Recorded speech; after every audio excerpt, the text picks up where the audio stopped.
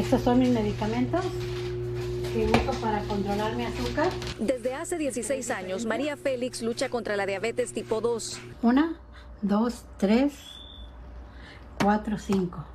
Y las pastillas para el azúcar 6.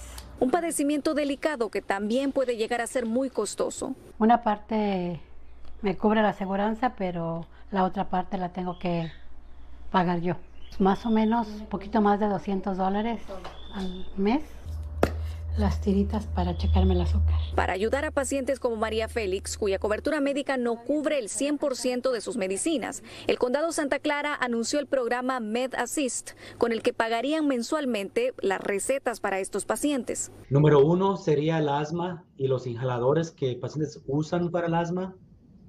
Número dos sería la diabetes eh, tipo 1 o tipo 2, donde el paciente recibe la insulina. Y número tres, inyecciones de epinefrina para aquellas personas que sufren alergias graves. Y hay cuatro requisitos para ser elegibles para este programa. Primero, ser adulto, mayor de 18 años, vivir en el condado Santa Clara, tener una receta que indique el medicamento que necesita y no sobrepasar los ingresos anuales establecidos por el condado. En el caso de una persona sería no ganar más de 122 mil dólares al año y para una familia de cuatro no sobrepasar los ingresos de 251 mil dólares al año. Recibí si los gastos de todo aquí, aparte todo el medicamento que yo ocupo. María Félix cumple con los cuatro requisitos, así que comenzó a llenar su solicitud, la cual se puede hacer en el sitio web www scvmc.org o llamando al teléfono 408-970-2001. Le atenderán en español. Básicamente va a ser un, un cheque que le mandaremos ya que sea aprobada. El dinero se entregaría en un cheque mensual. Pueden utilizarlo en cualquier farmacia y también son elegibles las personas indocumentadas. Es difícil y es triste esta enfermedad porque tener que depender siempre de